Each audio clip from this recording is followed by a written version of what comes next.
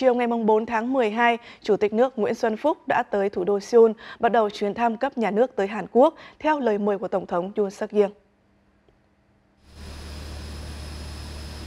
Đây là chuyến thăm Hàn Quốc đầu tiên của Chủ tịch nước Việt Nam sau 11 năm và là chuyến thăm cấp cao nhất của lãnh đạo Việt Nam kể từ khi Tổng thống Yoon suk yeol nhậm chức.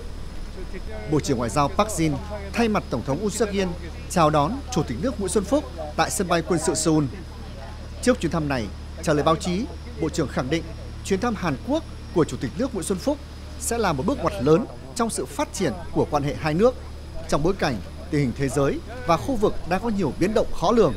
Đây là lúc Hàn Quốc và Việt Nam cần nỗ lực và hoạch định chiến lược để cùng nhau vượt qua những thách thức đó.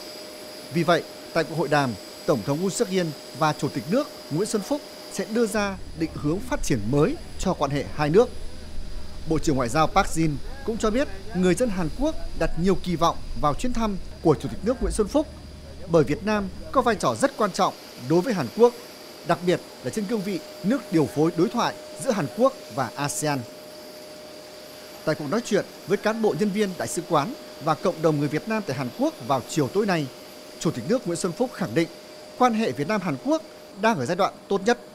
Đây là mối quan hệ toàn diện, tin cậy, thực chất và sâu sắc trên tất cả các lĩnh vực, mang lại hiệu quả cao, nhất là trong lĩnh vực đầu tư, thương mại và viện trợ phát triển.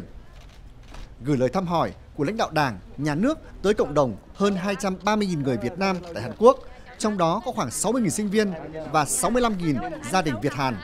Chủ tịch nước nhấn mạnh sự thành công của bà con ở đây rất đáng tự hào, nói lên nghị lực, ý chí vượt khó của người Việt Nam. Chủ tịch nước Nguyễn Xuân Phúc nhắc lại, tại cuộc hội kiến với Chủ tịch nước tại Thái Lan mới đây, Thủ tướng Han Đốc-su đánh giá cao cộng đồng người Việt Nam và khẳng định sự phát triển hiện nay của Hàn Quốc không thể thiếu cộng đồng người Việt Nam. Còn trong chuyến thăm này, Chủ tịch nước cũng sẽ đề nghị Tổng thống và chính phủ Hàn Quốc quan tâm hơn nữa tới việc bảo vệ quyền lợi chính đáng, đúng pháp luật của người lao động và sinh viên Việt Nam vừa đi học vừa đi làm ở Hàn Quốc.